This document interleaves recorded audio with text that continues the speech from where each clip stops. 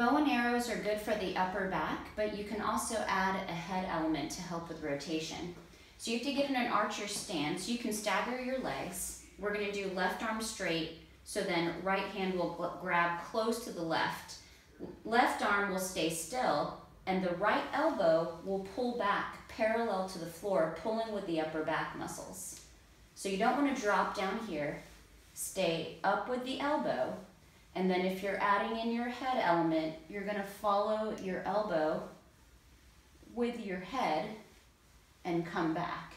And then conversely, right arm stays stable, left hand grabs close to the right, and you can follow and turn bow and arrow for the left side.